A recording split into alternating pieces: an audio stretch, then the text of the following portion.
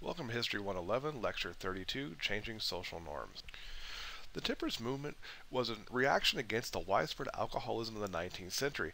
Now, most farmers produced more grain than they could sell uh, without a more developed transport network. As a result, they distilled large amounts of whiskey because that allowed them to preserve the grain, not let it go bad, and actually be able to get something that was feasible to move to a market.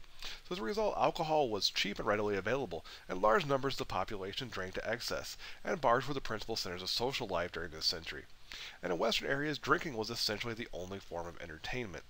Now, there were a number of problems associated with this level of alcohol consumption. There was a lot of violent crime, particularly assault, public disorder, domestic violence, poverty, and child neglect.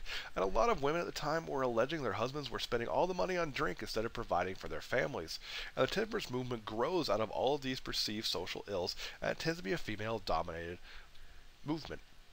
Temperance societies are going to form and a lot of them are going to involve reformed alcoholics who are going to begin speaking at meetings. And they're going to do things like confess the things they did wrong while drunk and talk about how giving up booze improved their lives. Now, about 1 million people signed anti drinking pledges this time. Now, the temperance movement itself splits over the details. Some people call for a complete ban on alcohol, while others are calling for self control. And in addition, in some areas the movement was taking on an anti-Catholic character, which, which further caused divisions within the movement. This is a time when people are becoming more concerned with health as well, and people start turning to scientific fads for better living, and it's partly being fueled by a number of cholera outbreaks. This is going to be 30 more or years before John Snow figured out how cholera spreads, and this is a time when people thought that bad air spread diseases. Now, hydrotherapy was one of the early ones, and people believed that waters could be curative. Now, mineral waters from various springs became popular. We do need to remember there is a European tradition of holy wells that can supposedly cure people of different ailments, and that tra tradition is somewhat transplanted to the Americas, and so health spas become popular and grow up around some mineral springs. Various diet theories become popular as times people are seeking healthier ways to live. Now, one of the more famous ones is one put about by a Presbyterian minister named Sylvester Graham. He was really advocating for chemical-free food, and he really opposed white bread because he felt it had no nutritional value. So as an alternative, he came up with a flour formula and recipe that is now what's known as graham crackers. Now, this is also going to eventually be a big influence on later figures like the Kellogg brothers. Another area where people believe that they can ultimately live better is through behavioral science, and phrenology becomes a very popular one. And it's seen in literature like Dracula, Moby Dick, and various Sherlock Holmes novels. Now, phrenology is based on a theory that each part of the brain controls different behavior and impulses. So, what they want to do, phrenologists, is they want to measure people's skulls to determine their suitability for various jobs. The idea here is they can build a better society by measuring everyone's heads and figuring out are they supposed to be a criminal, are they supposed to be a genius, and so on, all by determining which areas of the brain are most developed by using things like a tape measure and measurements. Now, since this has been proven to be completely unscientific, but people at this time thought that this was a cutting edge of advancement. Medicine also posed something of a challenge because this was a low prestige occupation. It was not well regulated and filled with quacks and snake oil salesmen as they are known back then. And attempts at regulation were opposed by the widespread anti elitist feeling in the country. In other words, if you put bars to entry into medicine, that only benefited the rich and that really ran against the sort of Jacksonian democratic ideals that had taken root. Now, at this point, there's also no real understanding of disease and how it spreads, so medicine is fairly primitive. That said, there are some big advances made smallpox vaccine, anesthetic, and doctors start washing their hands and tools. Now, these changes were typically resisted, though, however, as a lot of these doctors felt that these were unproven techniques and it took a long time for these things to actually really settle in fully. While the United States really was looking at ways to live better lives, engaging in some ideas which were a bit odd and some which had some merit, there was a general trend towards people believing that people could better themselves, and this leads to renewed interest in education. For example, in Massachusetts, the school year was doubled all the way up to a whopping six months, and teachers started receiving professional training. And the idea takes off, and teachers' colleges spring up all over the country to produce better teachers and quality teachers. Now, New York State is going to be the first state to start using taxes to fund schools, and all other states are also going to follow, so people start trying to invest in education. Now, there are, however, big educational disparities within the country. In the North, 72% of children attend school, but large numbers are what they call casual students who come here and there. That they come to school maybe once a week, or maybe they don't come for two or three weeks and then come every day for a month and then disappear for a while.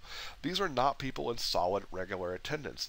In the South, however, it's only about 33% of the white population that's attending schools. Within the West, large numbers had no access to schools at all due to the dispersed population. And what that means is within the North, there's about a 94% literacy rate. For the white South, it's 83%. For the South, overall is 58%, and that's because only 10% of the black population can read. And remember, at this time, there are laws in a lot of southern states that outlaw education for black people. As a result, they just have no access to that. Now, there are some other educational movements that come into this that go in different directions. For example, there's the Perkins School for the Blind and Handicapped, but there's also the Alcott Transcendentalist School that really was set up to try to get children to teach themselves and learn from their inner wisdom. So they really thought that children already knew everything they needed to know. It was just a matter of teaching the children how to access all that knowledge that was already within them. Now, schools were also set up at this point as a way to instill social values in children, and people believe that a well disciplined child will make a well disciplined and productive member of society. One area that received particular attention at this time was the prison system. Now, until 1820, there had been a single jail for criminals, debtors, the mentally ill, senile, and beggars, and sometimes jails were literally holes in the ground. Now, social movements began to try to create better institutions with the idea of reforming the various inmates and meeting the different needs of the different types of. Now, the penitentiary theory became very common, and this theory, they said that moral laxness led to crime. Therefore, a highly disciplined environment was the cure. So it would use solitary confinement for everybody and put inmates on silent work crews. The idea being this would give them time to think about the moral failing that had led them to crime in the first place, and also teach them self discipline through long, steady work. Therefore, the idea being, if they were there because they didn't have the right morals, putting them in a highly disciplined environment would teach them the right morals and therefore prevent them from reoffending. However, overcrowding really eventually caused the rehabilitation aspects of the penitentiary theory to be dropped off and fail altogether. Now, asylums, importantly, were set up for what they saw as social deviants and mentally ill, and they're going to be separated from the prison system, which is in and of itself an improvement. Now, this is going to also be a similarly highly disciplined environment, and it's also going to lead to things like the creation of orphanages to instill discipline and responsibility in children. The thought here being this would be a preventative measure. It was assumed that orphans would become criminals otherwise because they had nobody to raise them and no one to teach them values. So that would be the responsibility of the orphanages. Now, some people also advocated setting up the school system to be run just like this as well. They also set up at the point what they call homes for friendless women. And the assumption being although that if women were not given a disciplined environment and were single and out there, they would become prostitutes. And that really kind of tells us just what they thought of women back then and how sexist their opinions were. And they also, at the same time, are going to start workhouses for the poor. And again, they feel that really that people being in these types of situations is a result of a moral failing and that they need to teach values through strict environment and strict discipline and that if people have the right values they'll behave the right way. Now we look back at that and we know there's a little bit more to it than that because there's other factors. But this is marks a movement away from just simply throwing everyone into the one building together and not taking any action to correct it so this does represent a significant step, even if it looks like it's not a complete step to us in this century. The last area we need to look at is women. Now, women were really at this point starting to argue against injustices. They start to argue for the need for public education. They start to argue against the abuse and neglect of criminals and mental patients. They start to argue against slavery. They start to argue against alcohol and for prohibition. they start to argue about women's legal position. So women are becoming increasingly active in these movements.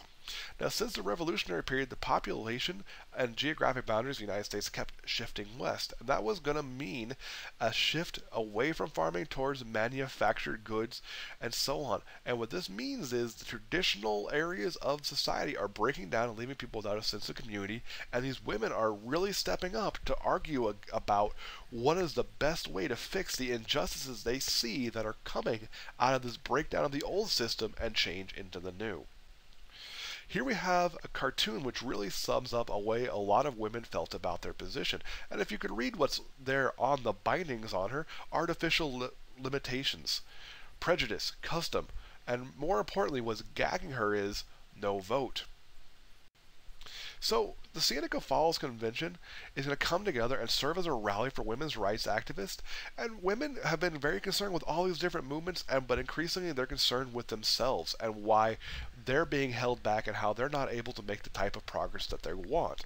So this this convention is going to encourage women that are not in the movement to join or at least start to think about their lives. And they're also trying to persuade men, particular politicians, husbands, fathers, bosses, clergy, doesn't really matter, that these issues deserve their consideration.